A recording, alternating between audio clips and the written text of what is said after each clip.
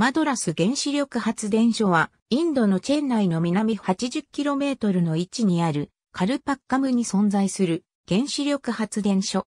原子力発電、燃料再処理、廃棄物処理などに加え高速増殖炉向けのプルトニウム燃料の製造などを包括的に行える施設になっている。マドラス原子力発電所は、インド初の完全国内建設の原子力発電所であり、220ムーの原子炉を2機保有し、それぞれ1983年、1985年に臨界に達した。原子炉は冷却剤喪失事故の最悪の可能性でも、総合的な安全を保持するため、二重の閉じ込めがなされて原子炉建屋に収容されている。カルパッカムには中間貯蔵施設も存在する。マドラス原発はインドの核能力を向上するために建設され、インドの国内原子力計画の基礎を築いた。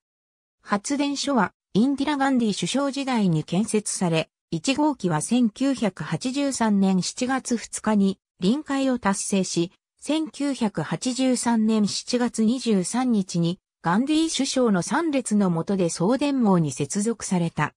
建設中、適切なインフラや操作装置がなかったため、1号機の180トンある重要機器を持ち上げるために38万本の枕木がインド中から集められた。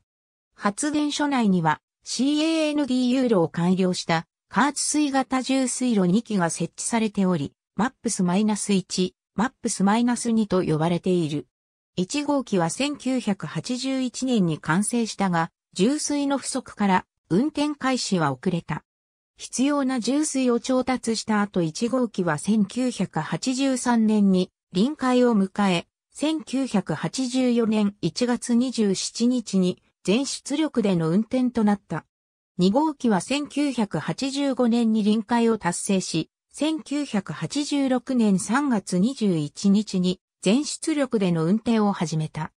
これらの2機は設計出力の235ムーより低い170ムーを発電している。これは原則剤ポンプの中でひび割れた冷却系由来のジルカロイ片が発見されたため、出力を低下させたためである。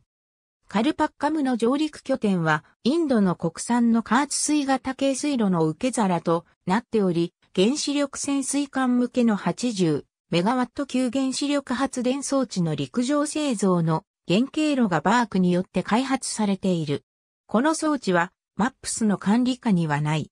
現在近郊のインディラ・ガンディ原子力研究センターで高速増殖炉原経路が建設中である。2004年のスマトラ島沖地震の際、津波でポンプ室が浸水するトラブルがあった。ありがとうございます。